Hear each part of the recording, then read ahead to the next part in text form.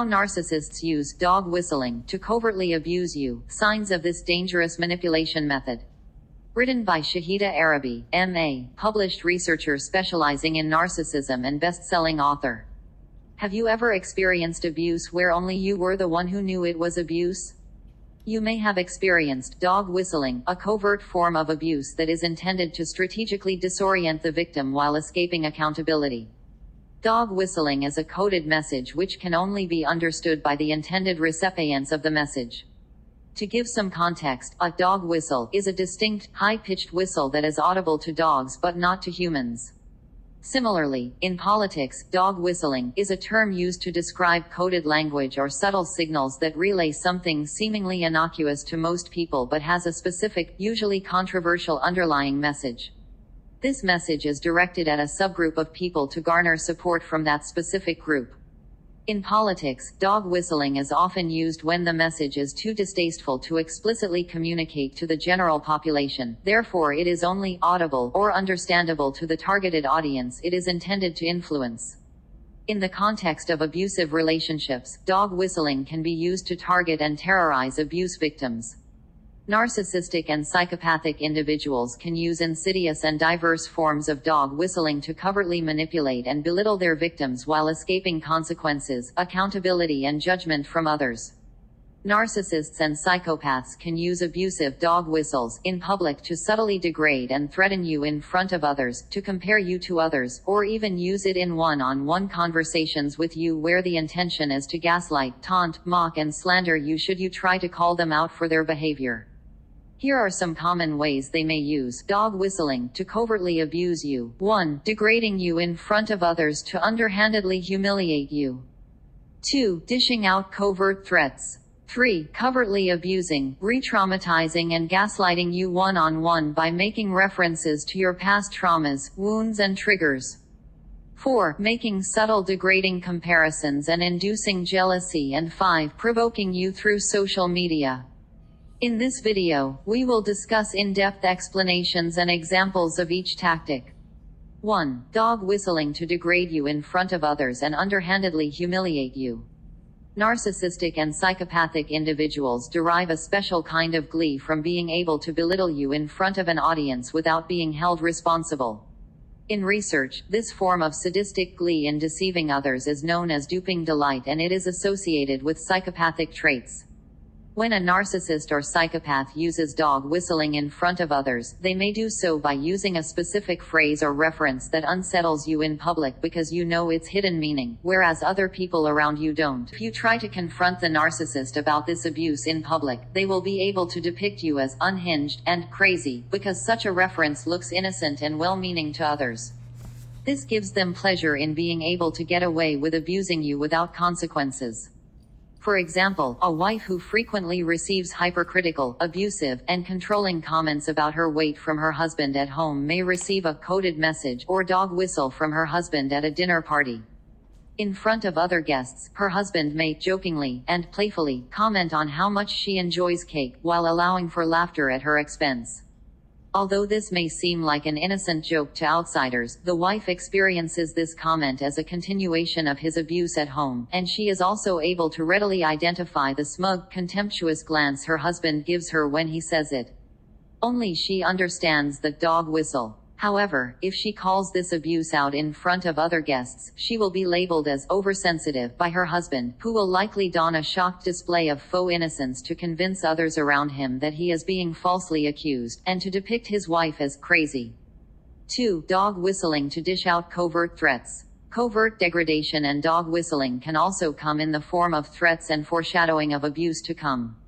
The dog whistle in these scenarios work to condition the victim's behavior and train them to walk on eggshells around the abuser. For example, a narcissistic father who abuses his children may mention a triggering topic for his children at a family event. Perhaps he, lovingly, tells his son that his hair is messy in a seemingly concerned voice in front of other family members, raising alarm bells for the son who has recently been hit by his father for not brushing his hair correctly. The son is then compelled to fix his unkempt hair anxiously in an effort to avoid punishment. Or, an abused wife is having dinner with her husband and their friends when her husband remarks on a recent news story about a wife who was murdered trying to leave her husband. He may fake a distressed tone when relaying this story yet give a suggestive glance at his horrified wife as he tells it. This is a dog whistling threat to keep her silent and compliant, in case she's getting any ideas of leaving him. The dog whistle message is clear to the victim and disguised to the public. Obey me or face the consequences. 3. Dog whistling to covertly abuse, gaslight and re-traumatize you one-on-one by using references to your triggers, wounds, insecurities and past traumas. In a relationship with a narcissist or psychopath, dog whistling doesn't always have to take place immediately in front of others. Manipulators can also use coded language to get you to react to their chronic abuse behind closed doors, only to later use your reactions against you, both within the relationship as well as in smear campaigns to others. For example, if a narcissist or psychopath knows you are sensitive about certain topics or get triggered by specific subjects, they will deliberately go out of their way to subtly reference those topics to wound, trigger and re-traumatize you. They will use anything you have disclosed to them against you. Then, they will use your reactions to their chronic abuse as evidence that you are unstable and lack credibility, especially if you try to hold them accountable in the future. Let's say an abuser is aware of a certain trauma you have experienced, such as being bullied, stalked, or sexually assaulted. You have already communicated to them that this is an event that traumatized you severely, and you prefer not to talk about it. The narcissistic or psychopathic abuser may then start to go out of their way to start repeatedly making subtle dog whistling comments about this triggering subject in passing, e.g., I don't know if I trust the legal system. You know, it's crazy how people make false accusations these days, or I heard about our neighbor's kid being teased by little Johnny. If I were ever bullied, I'd stand up for myself. Or, if you told them about a certain trigger from your traumas, such as the smell of a certain cologne that a predator wore, or a specific location you were stalked, they will start incorporating references to these specific triggers in daily conversation, e.g., you know, I think I am going to start wearing this new cologne. Have you heard of it? Or, I think I am going to visit that mall near the highway today. Do you want something?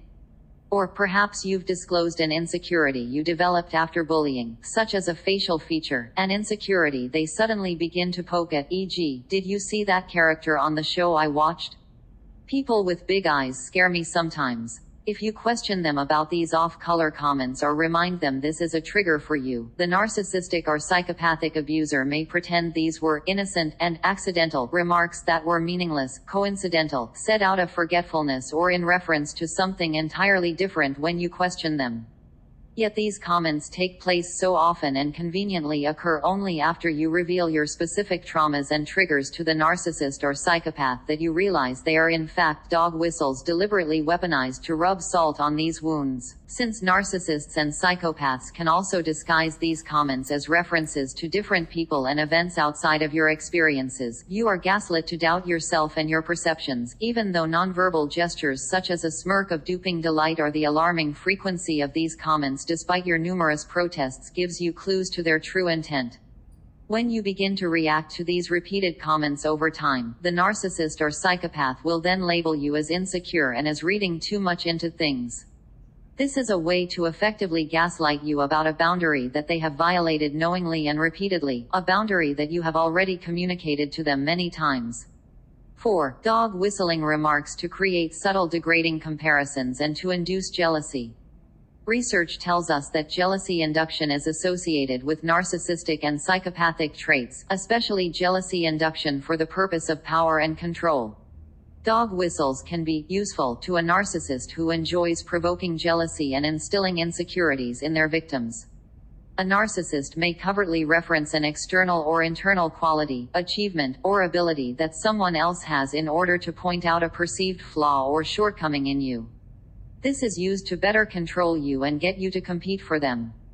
It's important to note that this does not mean you actually have this flaw or shortcoming or that their criticism is in any way valid, as narcissistic individuals tend to distort the traits of their victims to manipulate them. Rather, such dog whistles are weaponized to ensure that you are continually vying for their approval and more malleable to the narcissist's demands. Example, at a wedding, a narcissistic boyfriend might make a speech about how lucky the bride and groom are to have found one another. He may then make a joking, dog whistling comment about how difficult it is to find a woman who can cook while praising the bride, knowing all too well that his girlfriend in the audience does not cook and will be startled and disoriented by such a comment. This dog whistling comment is also designed to make her feel insecure, lacking and remind her of his past criticisms of her not being domestic enough. Or perhaps a narcissistic boyfriend frequently uses jealousy induction in even more underhanded ways to manufacture love triangles and provoke you into competing for him. He may have brought up how he loved a certain restaurant he took his ex to for date nights, or praised a certain attribute of their exes, like their hair color.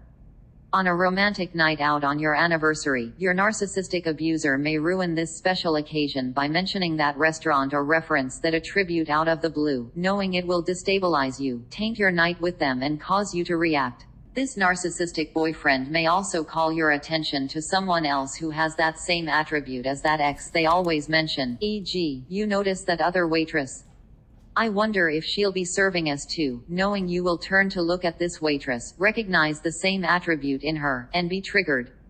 These types of covert comments can be so underhanded that they may be more difficult to discern and identify as dog whistling. They can make you second guess yourself and wonder what the narcissist's intent really was. This type of dog whistling can be so insidious that victims feel guilty even addressing it and usually fear they could be misinterpreting a coincidental or thoughtless remark. However, if such coincidences happen frequently and in alignment with the narcissist's other provocative references, you can be sure you are experiencing a pattern of manipulative behavior. Example, a narcissistic wife may continually criticize her husband for his job and educational background, even though he works hard to provide for his family and is successful in his own right. In front of her friends, she may start to brag about her coworker and his latest business venture, making comments about how his degree and the industry he works in are superior while passing knowing glances at her husband. The degree and industry she mentions, however, are the exact ones her husband stopped pursuing in order to get a more stable job to provide for her and his children, the same job she always criticizes him for. This form of degradation and jealousy inducing dog whistle is only offensive and humiliating to the husband and passes the notice of onlookers who only perceives a wife praising her coworker. Her husband feels belittled the implication that giving up his pursuit of this degree and career was a mistake. He also feels jealous and frustrated that his wife is praising her coworker instead of him, even though he is the one who has made these sacrifices for her and their children. Similar comparisons can also occur frequently in the workplace when there are narcissistic or psychopathic bosses and coworkers looking to manipulate their employees and pit them against one another for more power and control. Example, this form of degrading comparison can also happen in friendship circles. A narcissistic person may use dog whistle comments to alienate and degrade someone in their group of friends. They can make dog whistling comments referencing a scapegoated person that indirectly compares them to others in this friendship group. In these scenarios, the narcissist in question is usually operating from pathological envy or projection and seeks to use dog whistles to put down those who threaten them in some way. For example, Rebecca, who works in finance, might comment in front of her friends how people with PhDs are arrogant and non-academic jobs are superior, knowing full well that her friend Libby is pursuing such a degree and will pick up on this covert insult. Or, Stacy, who is ironically in a miserable relationship herself, might remark something like, it's so great we are all in a relationship. It must be so hard to be single these days while pointedly looking at Dana, the only one not in a relationship in the friendship group. These types of dog whistles are used to make the target feel less than and different from the rest of the group and cause them to compare themselves to others in the group, even if the quality or trait that is pointed out is a positive one. 5. Dog whistling tactics to provoke you through social media. Abusers can also employ social media and text messages to employ dog whistling in even more covert ways.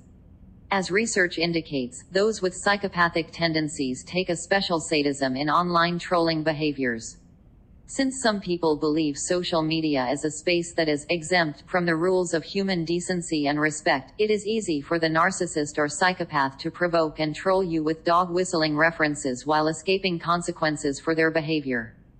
Social media is a narcissist's playground, as they have various tools and larger audiences they can play with at their disposal to provoke you and can easily use the excuse of, it's just social media, to gaslight you and invalidate your emotions while garnering support from others that you are overreacting.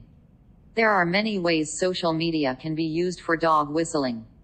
For example, narcissists and psychopaths can use stories and posts on their own social media feeds to covertly reference aspects of your relationship in a negative light or project their own qualities onto their victims. For example, a narcissist may post a dog whistling, inspirational quote referencing how it takes time to build trust in a relationship, conveniently after a night of hammering you with false, paranoid accusations about cheating. These are more direct dog whistles that are meant to publicly humiliate you in front of mutual friends and family members, even if they are the ones who have a history of engaging in the same deceptive behavior they project onto their victims. Or post breakup, a narcissist may start playing the victim by posting frequent references to incompatibility and betrayal. Or they may flaunt their latest victim while writing dramatic captions about how they've never been loved like this before, an underhanded comment aimed at you. These dog whistle comments are meant to unsettle and blame you even though the abuser is fully aware of how they treated you. Narcissists and psychopaths can also dog whistle by sending you what they claim are innocent pictures, videos, memes or social media captions that they know will trigger or diminish you in specific ways. For example, a narcissist who loves provoking jealousy may send you videos that conveniently contain scantily clad members of the opposite sex. They can also exploit the like, follow, and comment functions on social media to violate your boundaries on a daily basis without being held accountable. For example, if one day you express to your abuser that one of your boundaries is that you don't want your partner to follow sexually lewd accounts or misogynistic meme accounts, you may wake up the next morning to see them following dozens of inappropriate accounts, directly violating your boundary and covertly taunting you. Or, if you have told them that you get triggered by content that mocks crime victims or minorities, they may send you a heinous meme taunting that exact demographic shortly after, under the guise that it was just a joke. This form of dog whistling can be more challenging to address because of the widespread social acceptance of provocative and inappropriate behavior online. However, that does not mean that you as an individual have to accept any behavior that goes against your core values or belittles you, whether online or in person. The big picture, if you are experiencing dog whistling of any kind or any form of covert bullying, you are not alone and you are not crazy. It can help to write down the experiences you had that you suspect were covert dog whistling incidents to ground yourself in the reality of the narcissist's or psychopath's long-term manipulation of you. Identifying a pattern of dog whistling remarks or behavior can be one of the first steps you can take in resisting the gaslighting of the abuser and taking the steps to safely exit the abusive relationship. You never deserve to be abused, whether overtly or covertly.